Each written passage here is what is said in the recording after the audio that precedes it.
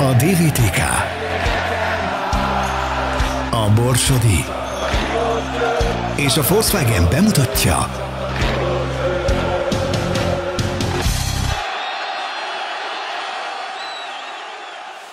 Hát úgy gondolom, hogy egy izgalmas mérkőzés volt. Talán egy igazságos döntetlennel, ha bár nekünk olyan helyzetünk volt, amit nem lehetett kihagyni, de kihagytuk. Az első fél időben uraltuk a mérkőzést a végén, mezőkövesnek volt lehetősége, természetesen a magas emberei révén pontrugások mindig veszélyt jelentettek.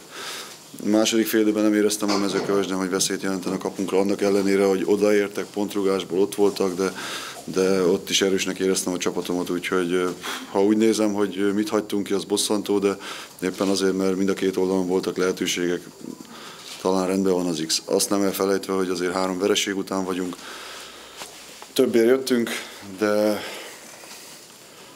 az egy pont az vereségek után úgy gondolom, hogy az megbecsülendő.